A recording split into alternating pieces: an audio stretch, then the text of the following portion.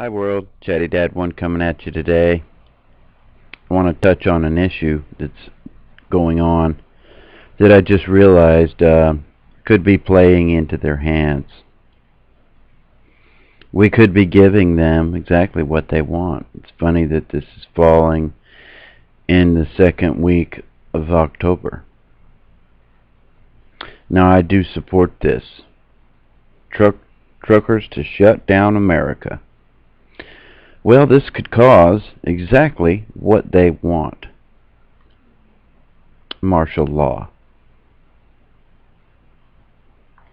If this has a big enough effect on the country, this is what you're going to see.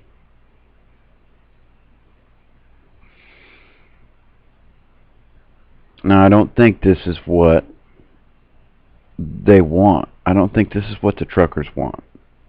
They just want America, the politicians especially, to wake up and to stop ignoring us and to bring the fuel costs down and some other things.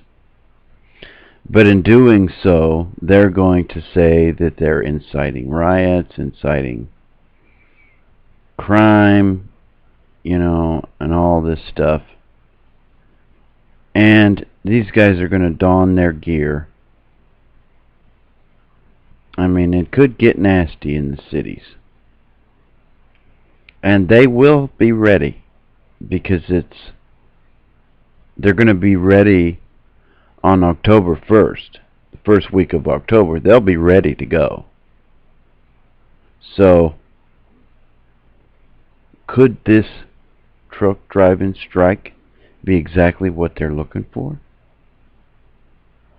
I believe that it possibly could be. And I don't know who's behind it. And like I say, I do support it. But I think it's playing right into their hands.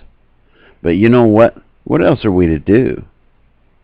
What else are we to do? We've got to do something. But is this the right thing to do? I don't know. I don't know.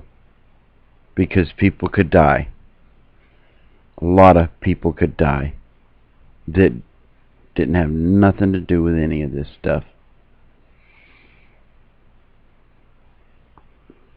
Um, some people live day to day. Some people don't have three days. Three days could turn into a month for some people. So, I don't know. I don't know that this is the way to go. We're treading on thin ice around here. And this could be the straw that broke the camel's back. If it is big enough, if it is successful enough, if it does what they want it to do and more, if everybody joins in on it and doesn't shop and doesn't spend money, doesn't do all these things, I've checked out the website pretty good on Facebook and I really I really don't I don't see um,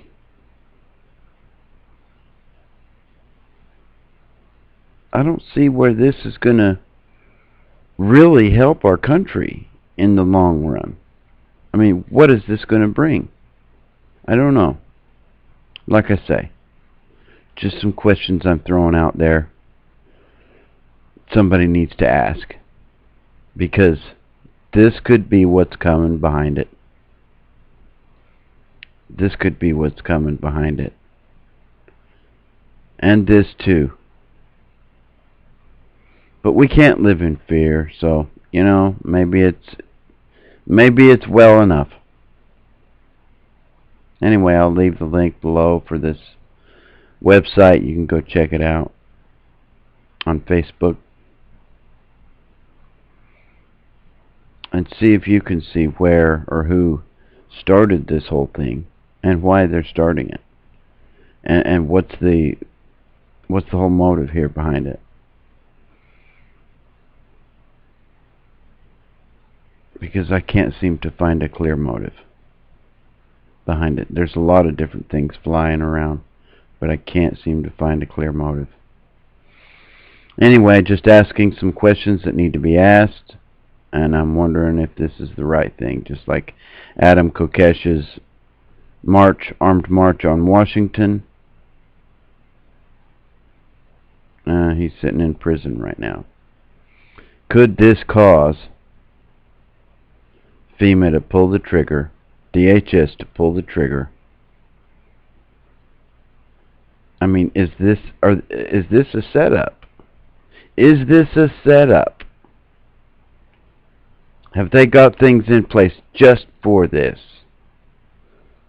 And the American people are taken in by it and are going right along with it. Like I say, just asking some questions that need to be asked.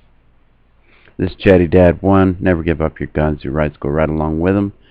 And prepare all you can. Get your stuff before this thing goes down. Because who knows how long it'll last. Three days can turn into weeks. Especially if these guys get fired. And aren't replaced quickly. But then again, there's... Uh, who knows? Who knows what's going to happen? Prepare. Be ready. God bless. Good luck to us all. This is Chaddy Dad 1 over out.